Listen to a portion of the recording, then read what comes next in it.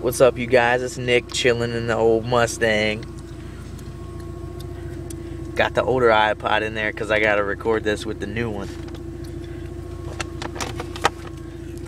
see where the bass is. Oh, zero. Treble's up.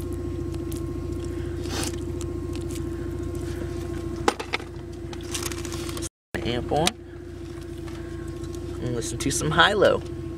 Track 10, high-low. Low bass tones cycle through different frequencies to below audibility.